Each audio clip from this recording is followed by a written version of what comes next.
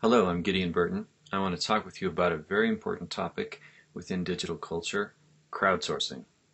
Jeff Howe defines crowdsourcing as the act of a company or institution taking a function once performed by employees and outsourcing it to an undefined and generally large network of people in the form of an open call. It's outsourcing plus crowds. We'll come to see that crowdsourcing is much more than simply a business efficiency and is taking on uh, societal ramifications that, that are pretty large. In order to understand what's going on with crowdsourcing, however, I, I think we need to have a background in user generated content, which is, is part of Web 2.0, the participatory web. Let me just touch on a few of the, the heavy hitters in this area, and they could be uh, sources that you could look up further if you wanted to. Uh, the Cathedral and the Bazaar. Eric Raymond. This is coming from a very uh, important look at the labor models in software development, which end up being important on a larger scale, especially with respect to open source software. The open movement was has been an effort that started in the software industry, but it spread beyond that as a way of um, enlisting a lot of people to work for free on a common cause. It started with software, and it's moved on to other things. Uh, people like Yochai Benkler have talked about the um, the great effect that happens as a lot of people start working together, and so nowadays we we need to think about networks not just in terms of uh, the IT infrastructure and not in terms of just say your uh, business networking, but networks as a combination of the technical and the social that can yield some pretty amazing things when they're combined. Um, a, a, very important author in this area is Clay Shirky, and he's taken Jeff Howe's concepts and in his book Here Comes Everybody gives lots of examples of that and, and furthers that within his follow-up book called Cognitive Surplus. Essentially, Here Comes Everybody, we, a lot of people are online, and a lot of people have time online, extra time, and with this cognitive surplus, they are, are able to do a lot of interesting work. The best overall work to discuss crowdsourcing is the wisdom of crowds, at least uh, in order to get an initial sense of the power that can come as people work together. Because, as Surowiecki talks about in his book, it isn't simply a matter of more efficiently getting tasks done. There's a way in which people working together are smarter than um, themselves alone or computers. And so this is a, a pretty revolutionary because it suggests that there are ways of solving problems and doing um, highly sophisticated work that are, are not part of traditional ways of organizing labor or solving problems. Uh, a very interesting book. I highly recommend The Wisdom of Crowds. Uh, nowadays, we're also crowdsourcing news. Uh, Dan Gillmor is, is, who's he's talking about citizen journalism or grassroots journalism, uh, the democratization of news. And uh, one of the catchphrases from his work is, is the former audience. Um, people are not passive anymore online. They're able to be engaged with what's going on in the world. In one way is by uh, following up on and acting upon news items. Uh, Henry Jenkins, he, he's pushed the term participatory culture, and this is very much the Web 2.0 mindset. Um, and basically, you, because there's such low barriers for doing things, um, people are getting more involved. Uh, this also ties in with the, the creativity that's come with online work and, and easy access to uh, tools for making and creating things. So uh, this this ties in with the socially reinforced nature of creativity online as well. Um, Henry Jenkins, very important uh, thinker as far as that goes. Another uh, tributary in understanding crowdsourcing is uh, knowing about fan culture. Uh, th- this is um, we get a lot of true believers that, that rally around a given. Uh, this is like the the Harry Potter series and, and writing fiction, but they might rally around other things. We have online identities are um, broadening and deepening our attachments and affiliations with specific niche cultures and that alone motivates us to want to do things together, uh, such as creating hundreds of thousands of uh, pages of uh, MuggleNet fan fiction. Okay, Another aspect to this that, that ties in with crowdsourcing is the increased uh, do-it-yourself movement. There's, there's, so many how-to videos online now, and uh, th this also is the part of the rise of the amateur. And so, so people are trying to um, do new things, learning about it online, and part of that is learning how to do things together and to uh, collaborate. And so you don't just do it all by yourself, but you do it you do it yourself after consulting your online community who, who helps you figure it out.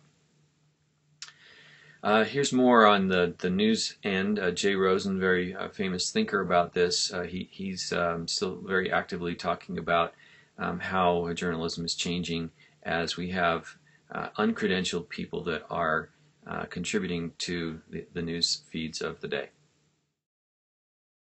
part of the, the, the crowdsourcing has to do with um, this the inf information wants to be free people want to to make use of available digital media online in order to create new things and to remix them Lawrence Lessig has been very much at the forefront of this talking about the creative culture and he's been behind also the Creative Commons licensing which is very critical uh, overcoming some of the roadblocks to uh, creativity with things digital because of, of copyright.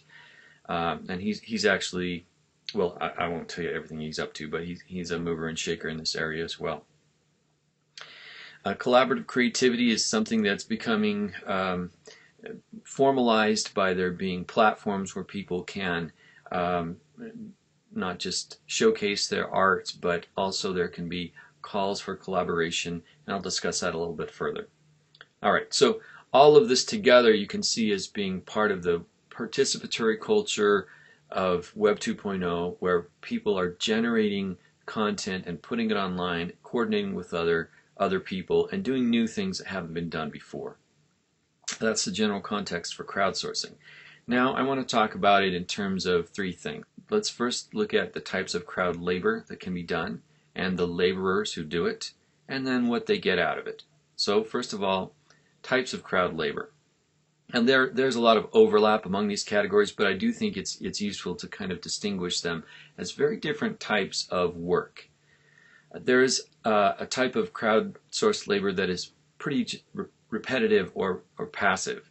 Uh, passive might be that, that you give permission on your iPhone for your location to be identified, and, and a service like Waze tracks you along with, you end up being part of a crowd of sensors and so they aggregate this data and are able to give real-time information about traffic jams and, and things like that. Um, there, there's other kind of more, more, conscious but just repetitive kinds of crowdsourcing that these people are sometimes referred to as click workers. They work for JPL. Um, there's a, a, platform called Crowdflower. Essentially, they, they enlist people to um, put metadata onto existing data as a, as a service. Uh, one example of this is that they have people accurately categorize products on eBay. So not not highly sophisticated types of thinking. A lot of it's it's just repetitive, but it ends up being very useful, especially in the aggregate. Second type of crowdsourcing labor, I, I call it judgment work, and this is where you have to have a little bit of an education. Uh, you're giving a, or at least you're exercising judgment on some level. You, you give a rating, or you're tagging something, uh, or or you're involved in mapping work. Um, that's very interesting.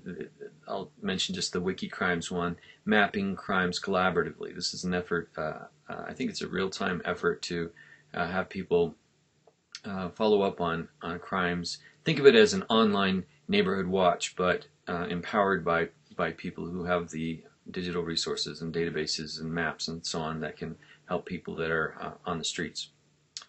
over on the left side there, we see the CAPTCHA, um, and that is um, uh, most people have rec recognized that they have to do this at different places online in order to prove that they're not a robot.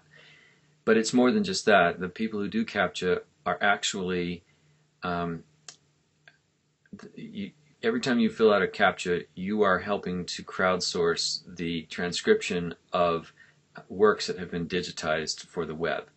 So um, computers, OCR, can't always recognize words, uh, but humans do a better job of that. So they break it up into a tiny task of, you know, they get some whole document that the computer can't really um, OCR optical character recognition can't do it very well.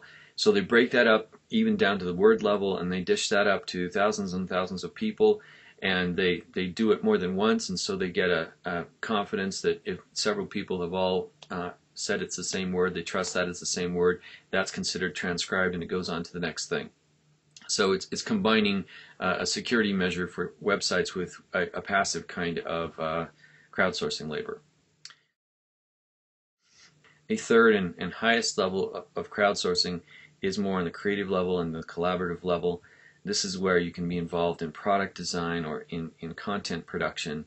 For example, on Threadless, it's a t-shirt company. You can be actively involved in sub submitting artwork for the t-shirts, but then you can also be part of the, the crowd that, that votes on the t-shirts.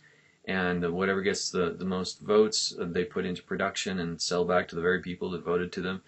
Um, you, you, can you can be uh, part of the crowdsourcing of tattoo designs. Uh, that's an interesting crowdsourced creative thing. My favorite is Kompoz, which is a, a fascinating music platform where you can uh, go online, create, create an account, and you start a project. And it could be just a, a couple of measures of a melody that you uh, hum into a microphone or that you, you strum on your guitar.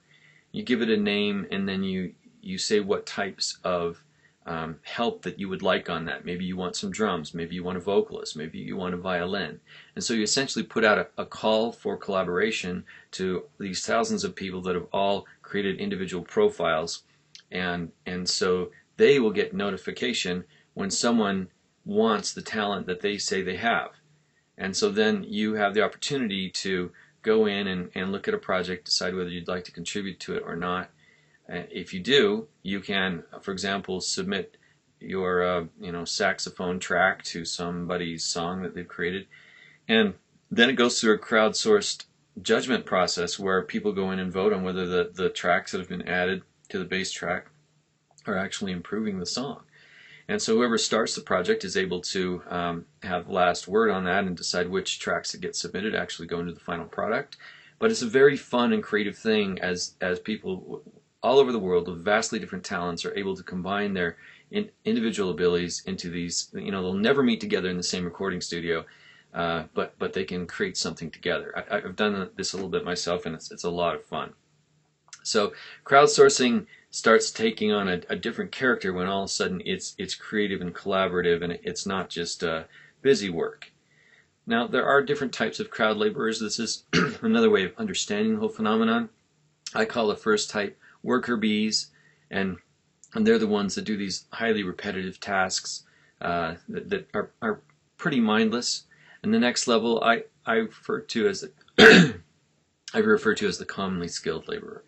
So a place like Galaxy Zoo, this is where astronomers are crowdsourcing the identification of basic types of galaxies, and so they have all these um, uh, pictures that show up and uh, you can sign up for this if you want and be involved. And, and it doesn't take a lot of skill.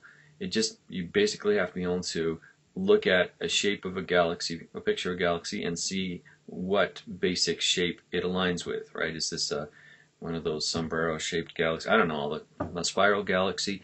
Um, it has a set of galaxies you can choose from and you just have to decide which of this it is. And apparently this is is very important for astronomers and, and something that um, people can do. Uh, others have have done crowdsourced bird counts. So ornithologists have have um, put out to thousands of people online to help them on a given day to count birds of a certain type or location. And um, it sounds like it's a mess, but they they figured out ways that uh, even with all the uh, uh, margins of error that are involved, that they're able to have more accurate counts than if they just had the few experts that were available uh, to do the bird counting with them. Uh, the, the highest level, and this goes along with the creativity and the, the collaboration, and that is freelancers and experts. Now, there's some really fascinating things going on with this. Uh, if you're a freelancer, for example, if you uh, are an, an editor or a computer programmer, uh, and you're looking for contracts with clients, you can go to Odesk and put up your shingle and say, these are my skills, put me to work. Um, on the other hand, if, if, if, you are someone that is um, needing that sort of service, then you can go online, you browse the profiles, people set their own prices. Uh, it's, it's, a, it's a clearinghouse for people to uh, buy and sell um, services. A lot of them are, are, technical or computer oriented, but not all of them. Um, and it's, it's a growing sort of thing. Uh, so people are able to crowdsource and outsource uh, tasks that they're not able to do and find labor uh, that's cheap online and, and, vet those people that are online by looking at their prior work and checking out their profiles.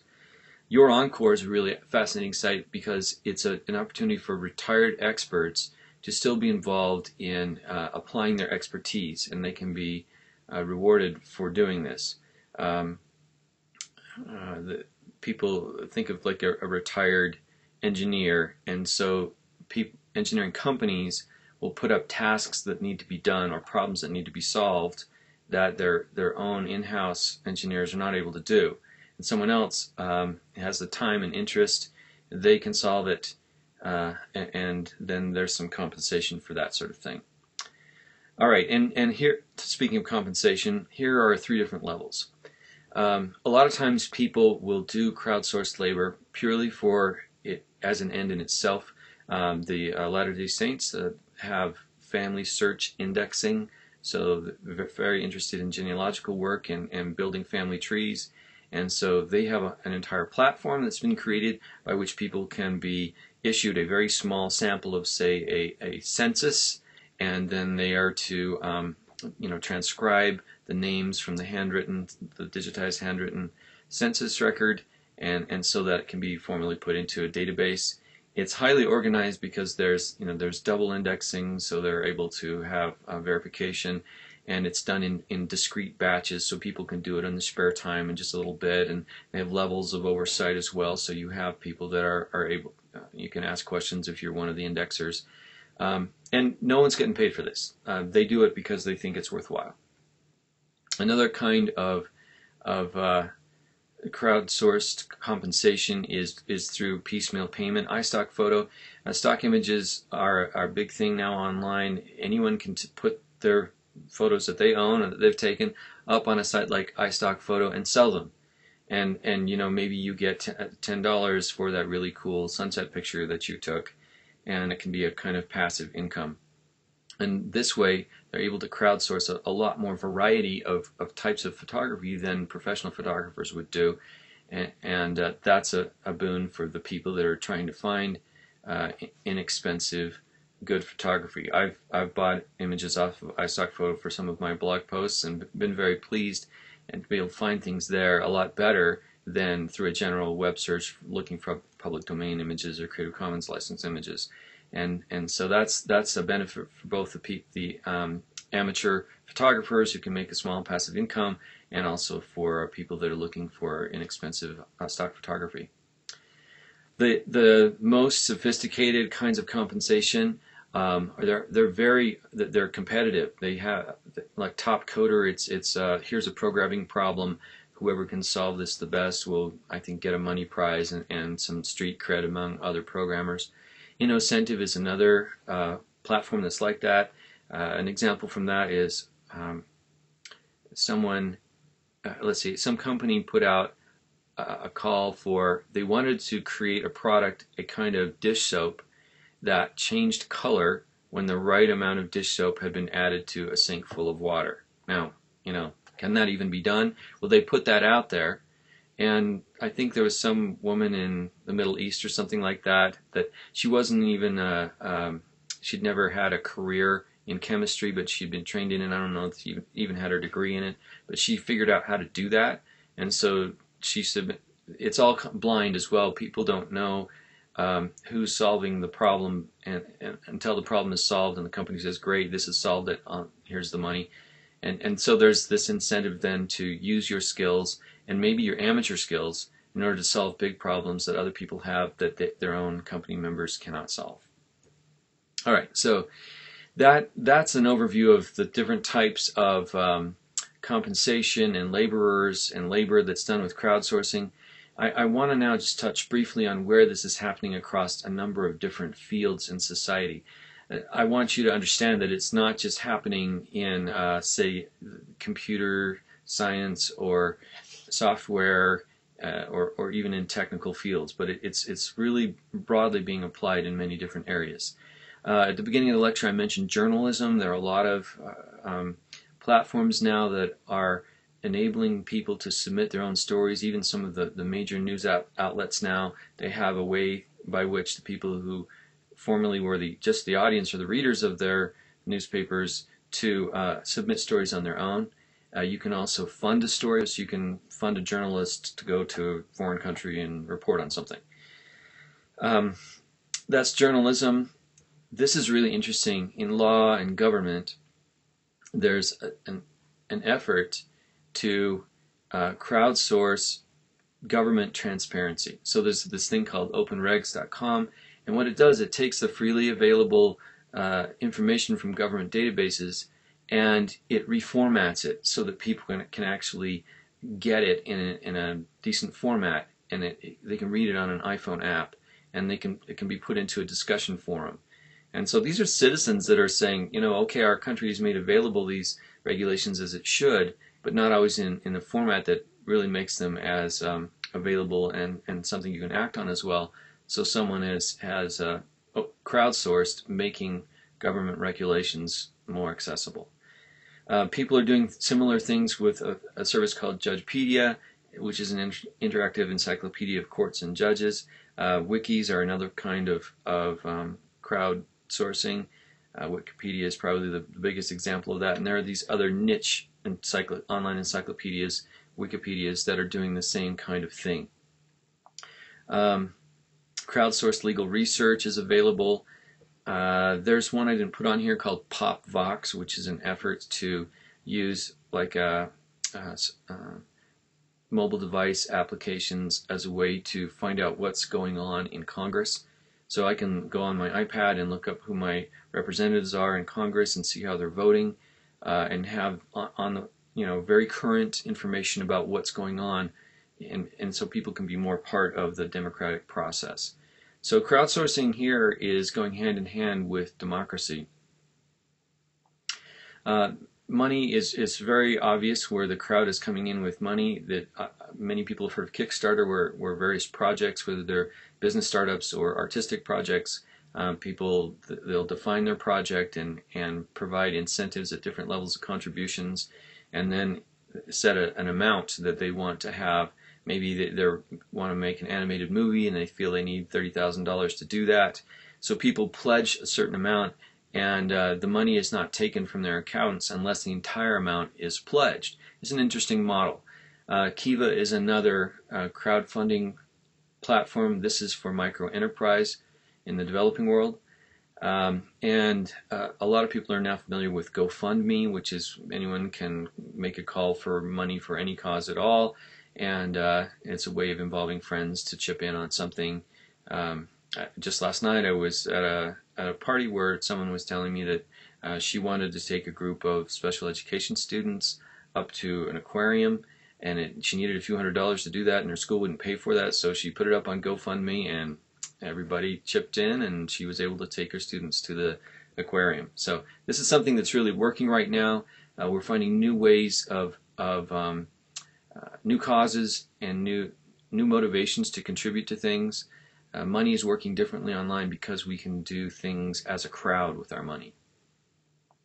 Science and medicine. This is fascinating. Um, crowdsourcing participants for social science, or um, you have things like um, scientists will put a webcam up to um, on an animal at, at a zoo or something like that, and so you can have people that will surveil, that'll watch over that animal, not the scientists, but just you know people that care about animals. And uh, there are people that are uh, crowdsourcing cures for various diseases. Um, anytime people go online and ask for help for a medical condition, is a kind of informal crowdsourcing. But now there are platforms being developed where uh, tough problems in science are, are able to be solved through through crowdsourcing. Um, let's see. No, I didn't want to tell that one yet. Another one about science I wanted to mention was um, it's a platform called I think it's called Foldit, and what it, it's done is it's taken um, the task of figuring out molecules, protein proteins, and how they fold, and it's turned it into an online game. And so it it's uh, taking people's interest in gaming, but uh, turning it into a way of crowdsourcing, solving uh, how how certain proteins fold, so figuring out how mo mo certain molecules function. Uh, I already mentioned Kompoz as a thing in, in arts. Open source cinema, that's uh, I think that that's closed down, but there are, are similar things like that available. Uh, recently, the entire play of, of Hamlet was crowdsourced um, by way of the short videos people put up on Instagram. Uh, so there are a lot of different ways that people are. Uh, let's see, another interesting one was um, uh, the entirety of the original Star Wars movie was was recreated by amateurs. Each of them had, I think, exactly one minute uh, of the entire film, and people submitted their one minute, and it came in all kinds of different styles. And it obviously that's tied in with fan culture, uh, and there's a lot of different artistic efforts now that involve the crowd. One that I find really fascinating is crisis management. There's this service called Ushahidi, and this started in uh, 2008 in Kenya where there was a civil unrest following the uh, elections that were held there. Uh, a lot of concern about uh, voter fraud and things like that. This kind of hits close to home because my, my son was actually in Kenya at the time and, and was dodging uh, tear gas in the, in the streets. There, there's a lot of um, concern about watching over democratic processes and also um, addressing emergencies. So this, this Ushahidi is a Swahili word and essentially they created a platform for people to help out with the crisis. So they will teach people what the volunteer organizations are and what those organizations need, and then they will. Uh, here's an example. They will um, use an, another open platform, OpenStreetMap, and so during the recent earthquake in Nepal, uh, you got people who would take the um, Google Maps or other maps and identify the hot spots where there were problems, and that would that would help the government and other aid agencies in in what they had to do, and and then they they would also they've created this way of putting up tasks. So this task was they needed people to identify on maps where good landing spots would be for helicopters. And you can see the little bar at the top saying that this is 89% completed and and uh, some of these then they're crowdsourced, but then they are also vetted by experts after the fact. But the crowd is able to do a kind of triaging of first level of looking at things, so the experts don't have their time wasted on, all the detail. It's pretty fascinating, and, and since 2008, um, it's now 2015. In that time, they've gotten better and better at teaching people how to coordinate among different agencies online, and and uh, they keep a blog and they have little how-tos and so on. And and so whether it's the the earthquake in Haiti or or the the one in, in Japan, Ushahidi has has really been there, um, and they have uh, a lot of people that keep improving the very tools as they use them. Now all of that to me makes me think about crowdsourcing as being not just uh, an interesting phenomenon of online life, but people are working together. And you know, in history, when people are working together to solve problems and to deal with things like money and science and medicine and the arts, we called this civilization. And so, to me, it really uh, crowdsourcing is not just an interesting business phenomenon or something like that. Outsourcing, it's civilization building. Uh, as you see the the goodwill and the efforts that go in, to something like that crisis management, uh, it's it's really quite sobering to see how much people want to work together and how much they can uh, as they take advantage of the various tools that are there, and they're able to cross boundaries and borders and and uh, cut through red tape and build things and do things we've always wanted to do in civilization, but somehow to move past a lot of the boundaries that are that build up through bureaucracies or through just the um, limits of infrastructure.